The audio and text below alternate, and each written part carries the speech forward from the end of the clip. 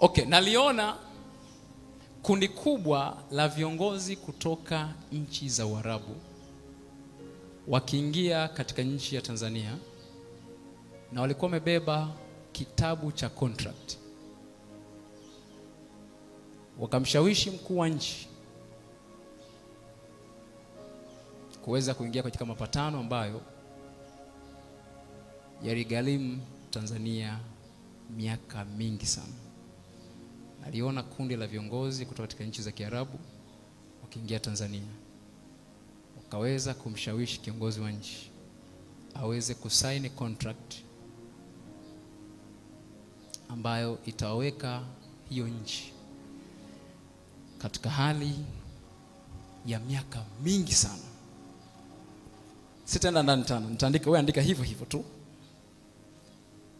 ili unapoomba ufahamu unaomba kwa namna gani.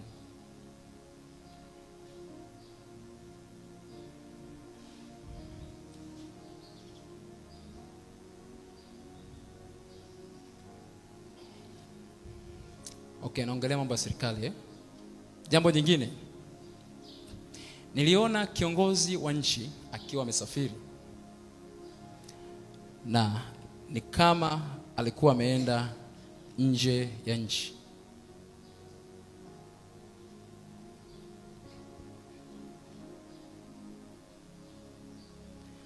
Alipokuwa amesafiri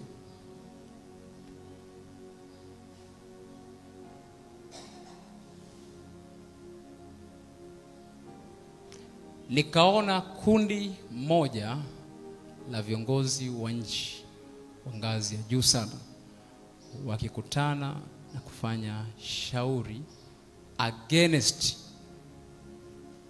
huyo mkuu wa nchi.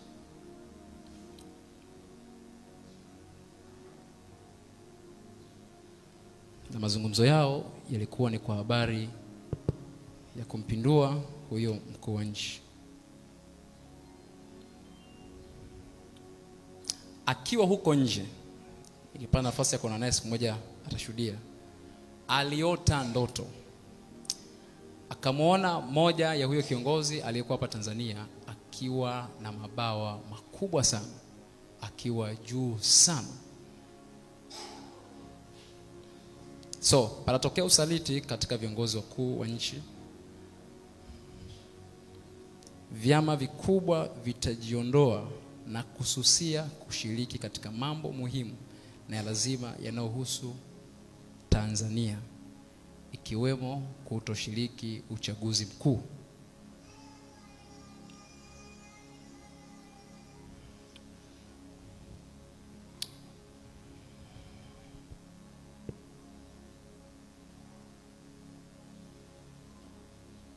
Halo, tuko pamoja eh?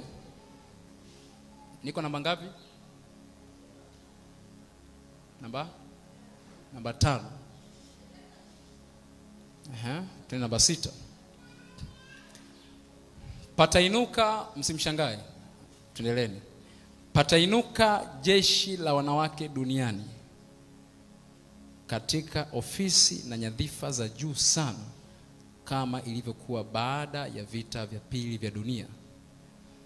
Patainuka jeshi kubwa la wanawake duniani kote watakaokuwa empowered kuchukua nafasi muhimu sana za nchi kama ilivyokuwa baada ya vita ya pili ya dunia. Na Mungu aliniambia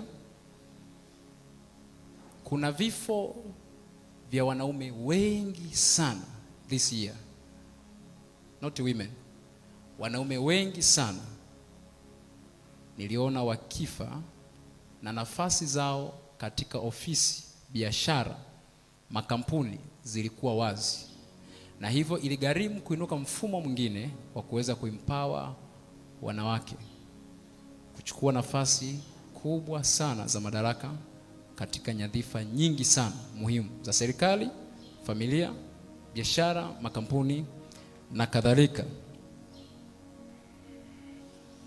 Na hii ni ajenda isiyo ya kimungu. Wanaume wengi kupoteza uhai kabla ya wakati wao, na lengo ni kupoteza mbegu ni kupoteza mbegu. Kitabu cha Kutoka utasoma habari ya Misri na Farao kuambia, ndipo itakuwa mkiona mwanamke wa Kiyahudi amejifungua mtoto wa kiume, muueni, ila mtoto wa kike mumwache akiwa hai. So ni plani ya adui ambayo iko nayo mwaka huu. Kwa hiyo kama kanisa tumeomba kusimama kuomba juu ya jambo hili kuweza kuvunja hii kitu. Haitakuwa Tanzania tu, duniani kote wanaume watapungua sana, na niliona ilifika wakati nchi ikapitisha sheria, nchi duniani zilikutana katika Umoja wa Mataifa zikapitisha sheria kwa habari ya ndoa, kwa habari ya ndoa.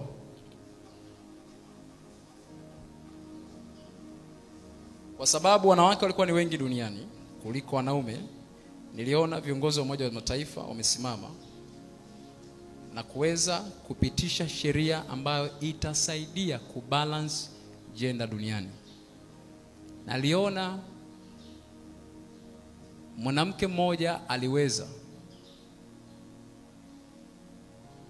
kuwatafuta wenzake wengi wakaenda kwa mwanaume mmoja wakisema, tunakuomba uwe mume wetu, na sheria ikapitishwa. Andika hivyo hivyo. Naliona mwanamke mmoja akitafuta wanawake wengine wengi, wakamkimbilia mwanaume mmoja, wakamwambia, ninaomba uwe mume wetu, na sheria ikapitishwa duniani ya mwanaume kuruhusiwa kuwa na wanawake zaidi hata ya watatu.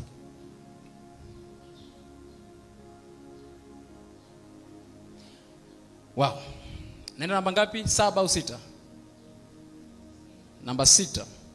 Naliona kiongozi mkubwa wa kanisa Katoliki, hiyo wala sifichi, kiongozi mkubwa wa kanisa Katoliki akitangaza duniani kwa habari ya nafasi yake halisi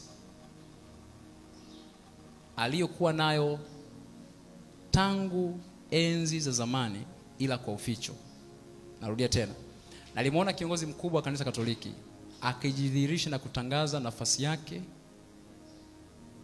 aliyokuwa nayo tangu zamani kwa uficho, ambayo inahusu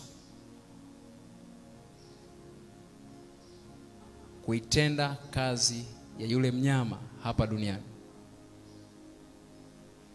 Wakatoliki mtanisamehe, nitasema vile vile nilivyoona, sawa? Ehe. Duniani hapa kiongozi akimwacha Mungu haimaanishi na wewe umwache nani? Mungu. Una uwezo wa kwenda mbinguni licha ya kiongozi wako kama atakuwa ameingia kwenye mikataba mingine. So nasema haya uweze kufahamu. Naliona moja ya kiongozi mkubwa sana wa kanisa Katoliki akidhihirisha identity yake ambayo ina chapa ya mnyama na itakuwa ni maandalizi ya kuja kwa Yesu Kristo. Namba nane. Tanzania ina mihimili mitatu ya serikali. Kuna bunge, mahakama na nini?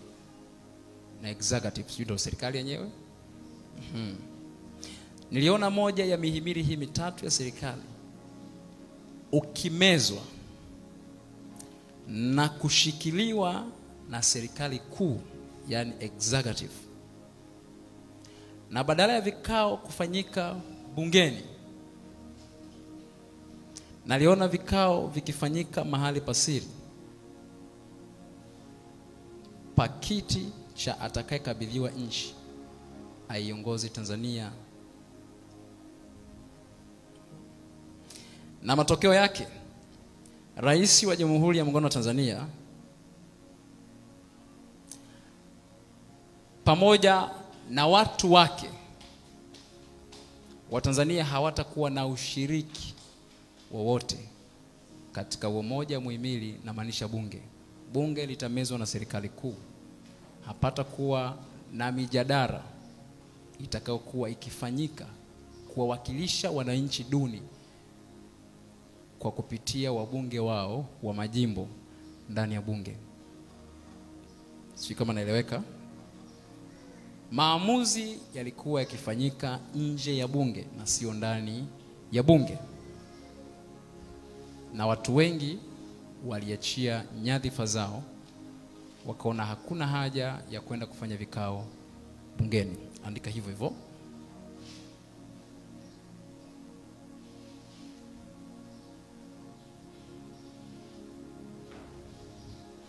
Naliona wimbi la nchi zilizoendelea developed countries zikirudi tena katika bara la Afrika kutawala. Naliona nchi zilizoendelea maanake wazungu wakirudi tena katika bara la Afrika kuwatawala.